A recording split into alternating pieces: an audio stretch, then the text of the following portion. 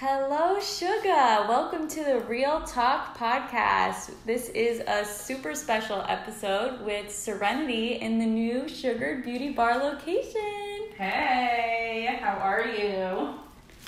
So wonderful. I'm so excited that we're continuing this series from the sugaring table. Yes, yes. In our new location, in my new room. yes. So, to recap from our last Real Talk with Sugared Beauty Bar, what has happened in the past couple months?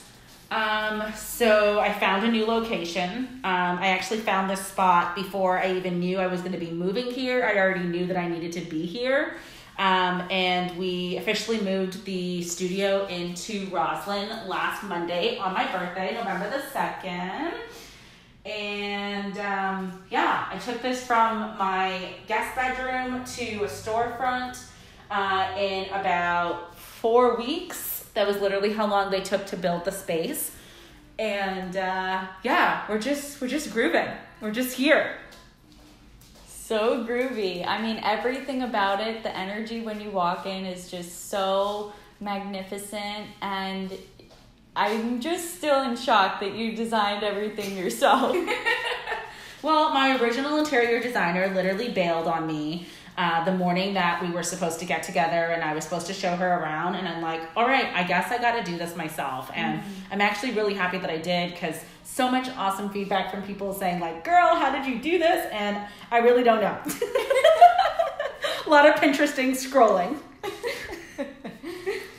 But also, I remember you sharing about when you were shopping, you kind of just eyeballed a lot of the items that came in here. Can you speak a little bit to that process? Um, I it's a really weird thing that I've been doing for a really long time. Um, I'm a huge thrifter, so eyeballing is like a part of my like thrifting experience. I will look at something and know whether I'm going to fit into it I'll look at something and know whether I can pair it up with a purse or a pair of shoes. And I'm always looking for like really cool patterns and things that are like asymmetry. Asymmetry? As- I can't even say the word. Asymmetrical? Asymmetrical. That's the word. Um, just so that things are a little bit different instead of like partnering things as like a pair. It's like I just want it to complement each other. Mm-hmm. So that was kind of like my vision with the space was like, all right, how can I maximize the whole space? Have it look minimal, but also feel like cozy, like it's somebody's home. Um, so we transferred the space for the reception area, I'm using air quotes here, um, into our living room because I want people to feel like they're coming to their girlfriend's house to get sugared slash Reiki slash, you know, all the other things that we're going to be offering here, which we're going to tell you more about.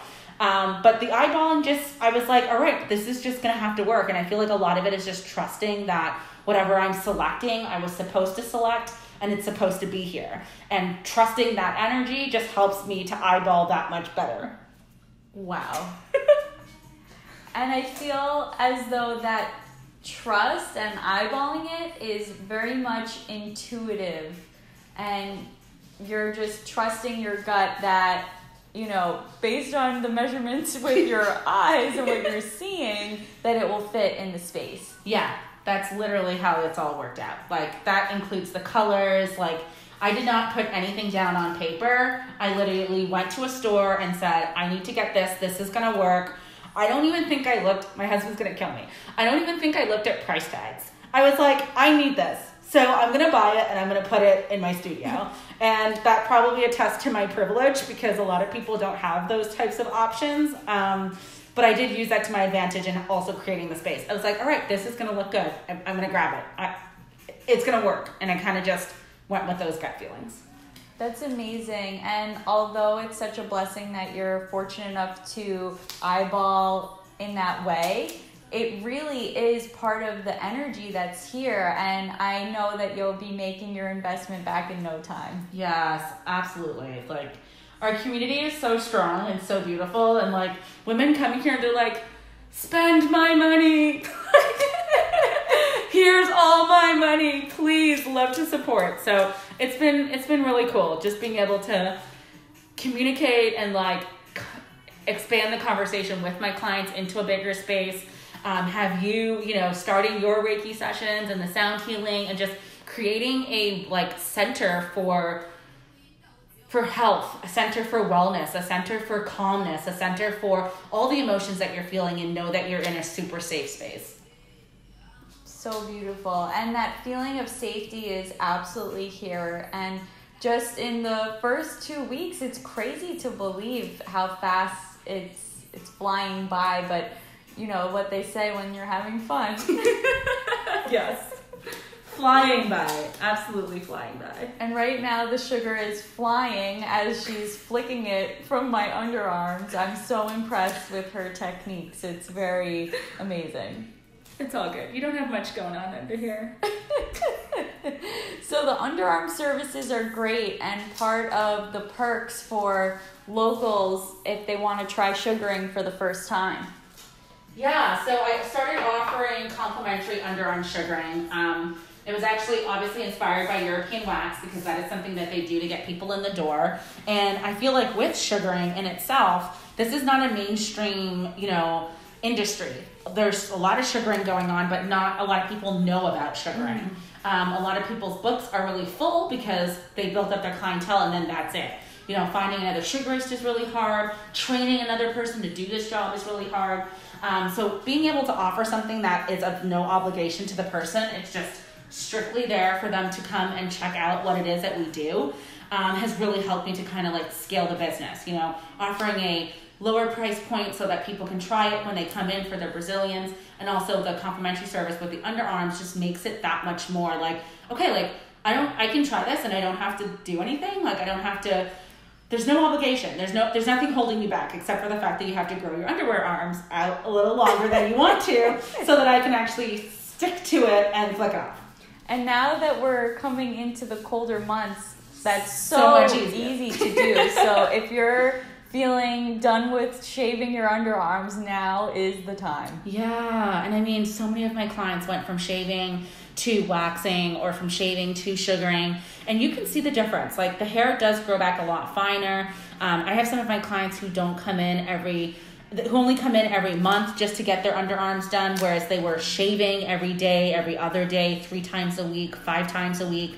Um, and it's it really shows like the sugar is so much more superior to wax and to definitely to the shaving. Absolutely, and because it's water soluble, you're really getting into the root, and I think that was something that was so challenging for me personally with other forms of hair removal. Yeah, I mean, with wax, there's you always have to allow for some breakage. We're ripping hairs um, with wax against the grain as opposed to with the grain. Um, and like you're mentioning, the sugar paste is water soluble, so it actually has the ability to seep into your hair follicle, wrap itself around your hair, and I use that flicking motion to remove it. So it's it's either I remove it from the root or it's there, and if it's there, I tweeze it. So you're always always gonna get like the most superior hair removal service with with uh, sugaring. And of course, it's exfoliating, so you get that smooth baby like skin that everybody loves after a wax but it lasts way longer. Mm, absolutely. And I'm so glad because, believe it or not, since the last podcast was when I had my last treatment, so it was only appropriate to record another podcast today for our cleanup in the new studio in Roslyn. It's just such a beautiful space. She has her green accent wall, which really just ties it all together. Yes. I love it. Same, same. So, with No Shave November, we invite you to stop shaving, throw out your razors, yes. and come in for your complimentary underarm service. Yes, at any time. Or you can wait till December. You know, you've got a couple of weeks to grow this, to grow your bush out. Um, either one. And uh, try some sugaring because it will never let you down. Mm-hmm. So, what's your favorite thing about sugaring? Um, I think one of the reasons why I really love sugar sugaring is because it's completely natural. It's completely organic. But I think since I started learning to sugar, my favorite part of it is molding the paste into your hair. Like I can feel the work that I'm doing. I can feel the work that the sugar paste is doing. Whereas with wax, you kind of lay the strip, and if it's hard wax, you're like waiting for it to cool down, and then you just pull, you just rip off, and there's not a lot of connection because I didn't really put my love into it. You know, sugaring feels like an art form. Um, that whole flicking motion that you have to use to remove that strip your your body's really doing a lot of work to kind of do that job um, and do it correctly and do it without hurting somebody. So I feel like it's it's such an art. Like you're my clients like looking at it too. You know, it's this crystal ball that they get to see at the start, and then they see how much of the buildup and how much of their dead skin and their dead hair is left back in that ball of sugar. Um, and they're like surprised. They're like, wow, okay, like I understand why I need to exfoliate. Mm-hmm. I understand why I need to, you know, take care of my skin because this is what all the dead stuff looks like, you know? And of course, the more you come in the beginning, the less I see you towards the end. So it's it's like a love hate relationship. I love being able to see my clients every four weeks, but with sugaring, I don't have to see you every four weeks. Like we are able to stretch your appointments out. One of my girls comes in every nine weeks like she's and her hairs are not growing in in the same rate, the same pace that they were when she was waxing. So it's it's really cool, and that's that's another reason why I'm like, okay, I need to host workshops because I'm not gonna see these people for for four and you know within four weeks. Like it's gonna be stretched out longer. At least I can see them for something else. So really excited about bringing those things on board too. I love it, and I feel like the molding process is so metaphorical too, because it's like you're building and molding that connection is right. that's so deep. I'm yeah. like really feeling it. Yeah, yeah, it really it really is. And I didn't like acknowledge that as a client. It only started I only started feeling that way as the person as the sugarist, as the person like doing the hair removal. But coming from a background where I did wax and I was waxing people, um, I worked at European Wax for over a year, and it's it's just so beautiful seeing the difference in people's hairs. You know, like I've been seeing my clients for like 9, 10, 12 sessions and they make that conversion into sugaring and they're like, wow, this is beautiful. Like they're excited to come back in for their services because of the vibe here oh. um, and because of how they feel about their hair. You know, like I'm educating them on their products and on their skin and showing them how they can, you know, tweak things here and there so that they can feel better about, you know, and feel more confident about their skin. So those those are all the wonderful things that I love about my job and just so much therapy happens in this room. I love it. And even though the time between your clients is spreading out, I love that you're really setting people up for success and self care in between sessions. So, making that skincare routine very much like a spa at home. Right. Because when we have that mindset, when we have the tools of an exfoliating, you know, brush, brush, and just everything to really be present with our bodies and really have that preventative maintenance is just beautiful because we're really changing the conversation with ourselves. Right, right. And it's not a matter of like, it's not a matter of people feel like I'm going to come and make them feel beautiful, you know, and I hate that concept. I don't like the idea that now you're beautiful because your hair is gone. You're beautiful regardless of what's mm-hmm. going on. And I think we talked about this on the last podcast. Um, but that's what I keep trying to instill in my clients and my tribe. Like, this is not about me making you feel small, flawless and sexy and smooth because, like, you're you're flawless, you're sexy, you're smooth even when you're hairy, you know? And like you have to feel that and embody that. And I love that my clients are are less of them are coming in and apologizing for having their body hair. You know, like even a girl today, she was like, I'm so sorry I didn't trim. And I was like, girl, like I'm in the hair business. Like, don't apologize for coming in looking like we need the national forest, you know, like that's okay with me. Like I'm cool with that. And then I tell them stories about, you know, my hairy, you know, lifestyle and how I choose to be. Um, and as much as I remove hair for a living, I really don't remove my own body hair, you know, and I think that that also speaks volumes of like, this is not about a beauty industry. This is a personal choice. And if you're going to make that choice, let's do it in a healthy way. Let's have an organic version of that so that you don't feel guilty about doing it, you know? And sometimes it's a little spicy. That's what I like to use the word instead of pain. Um, and so you'll feel that spice, but you're feeling it because you know everything's coming out from the root. Mm. And when it does, and then it's over, there's no lingering pain. That was another thing a lot of my clients have been talking to me about, where they like put their underwear back on and they're like feeling like tender from their waxing services. And I don't know what that feels like because I've never waxed my Brazilian area. I've only ever sugared it. But I can only imagine what it's like walking out of here and pain, you know, like having tenderness and going back to your job or trying to go home or carrying on the rest of your day. Some of my clients are coming at like eight o'clock in the morning, nine o'clock in the morning before their shift starts, and they don't have that tenderness with sugaring. Like that is like, oh like Wow. being able to provide that type of service where they can literally get up and go and like don't even have to think that they were here. You know like it's over. Obviously they remember me but they don't have to think about the pain that they were in during their service. So it's it's really cool. That's so beautiful, and I love how deeply rooted this conversation is, literally.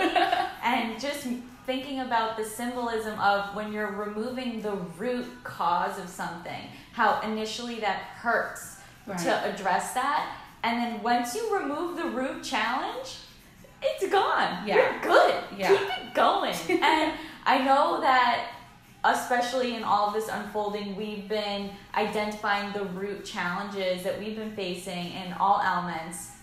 So once we really connect with that root, like from the root, we're not just ripping the top and leaving the root. It's like, no, no, we're getting to the root, Yeah. going with the grain, going with the natural flow, and removing that. If you imagine that root as the core challenges we face emotionally Yeah. or energetically, what is the root challenge blocking you from your energy flow? And how can you go with your natural grain and remove that? Oh, you're flourishing. Yeah. Like that's amazing. And Yeah. I know that was a very energetically spoken sentence. However, if that did resonate with you, that's part of what we're addressing in Reiki. And I do feel the full connection right here, right now, because when you do have a pain or a stagnation or blockage, we need to address the root cause. Like you might have a pain in one part of your body, but it actually is caused from another part of your body. Right. So until we address that root pain, that root challenge, and go with your natural flow of flicking it off Yeah. and making it happen, then you can flow and flourish, and that pain's gone. Yeah, yeah, exactly. It, it really does come back full circle. I love the metaphors that you're using in regards to like removing, you know, removing from the root and like letting go and like breathing deeply into whatever is challenging you. And it, it sounds so heavy, but it's so simple if you think about it on that surface level, you know? And if we can make that connection between hair removal and your actual life, um, because these sessions really are really intimate. You know, you're getting half naked for a complete stranger most of the time. And you want to know that you can trust this person and you can relate to this person and this person has your best heart, at, at your best interest at heart. And that's why I feel like my community is so strong because they feel that. Like, I'm here and like, I was talking with a client yesterday and uh, she came in and she was like, you know, I was having a really stressful morning and when I walked in here, I just felt so calm. And I'm like, this is where you belong. You know, this is home. Like, I want you to always feel that way when you walk in here. And when we started the session, I was telling her, you know, tip tricks that I was using, which is including yoga. And then literally, like, I got my sugar paste and I'm like getting into a deep yoga pose so I can show her how cool I am. And she's like, oh my God, I want to be able to do that. And I'm like, girl, here's the link, sign up please start taking care of your health, you know? And it's conversations like that that are just completely organic, literally like my sugar paste, that help people kind of feel connected to a bigger like a bigger thing that they're coming to, you know? Like it's not just sugaring, it's it's a tribe, it's a community, it's a it's a wholesome place where you can literally get information and resources and be educated on how to do better for you in whatever area you are, whatever walk of life you come from. Wow. So I'm just blown away, and our sugar tribe is so real. It's so sweet and spicy. And this is just the beginning of many conversations. So, congratulations, Serenity, for your beautiful studio in Roslyn. We are officially updated on Google Maps and Instagram Maps. Everything is up to date, and I'm so grateful we now have this second episode of our series in the new studio. There is so much more to come, and I'm so grateful for the time and space to be embarking on this really critical conversation. Yeah, I love it. Thank you so much for for being here. Thank you for being a part of my team. I really would not be where I am right now without all of your love and support. So I really, really appreciate it. So much love. I'm so grateful. And just a reminder this is a real talk conversation, completely unedited and unfiltered because we're that organic. Talk to you soon.